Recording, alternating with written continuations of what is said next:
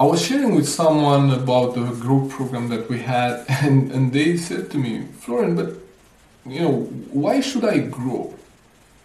And I said, Oh, this is an interesting question. And I think some of you maybe have this question and you ask yourself, oh, everybody talks about growth and why is growth important and why should we grow? And I think what this question says, says about a person is that they don't have a goal.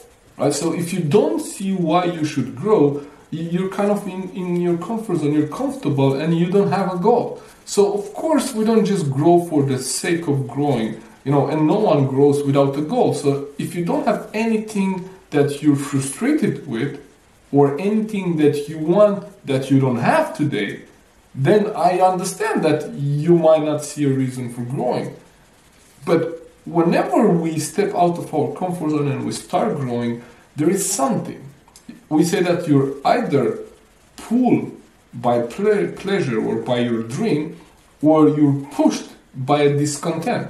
So you're either unhappy with the area of your life, for example, your body weight or your financial situation, and you're unhappy with that, and you had enough, and you say, I'm sick and tired of this, I really want to change this area of my life, and then you step into the growth zone and you start growing, or you say, I, I'm, I'm okay here, but it is this big goal that I want to achieve. So going after that goal, I understand that I need to grow.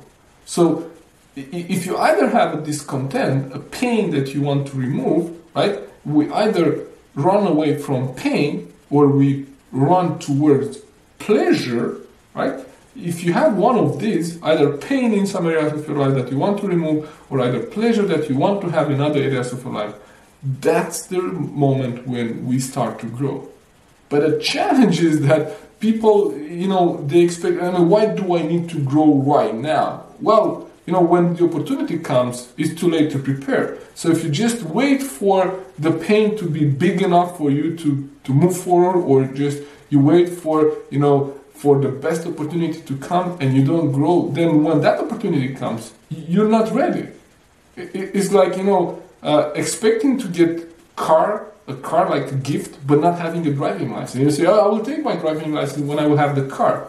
But I would say that if, if one of the conditions for you to get the car is to have a driving license, I would say you should take the driving license right now, and then when you have you know the opportunity to drive someone's car, you're prepared, right?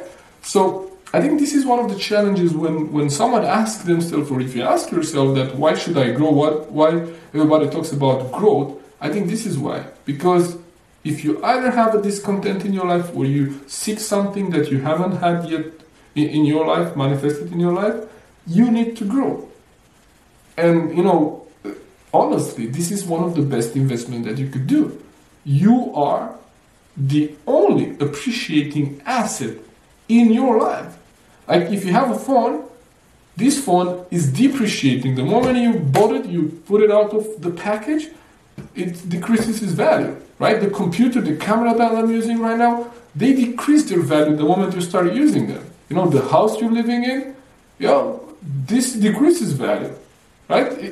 And you pay for it, you know, to maintain it, the car. Again, the only appreciating asset that you have is you.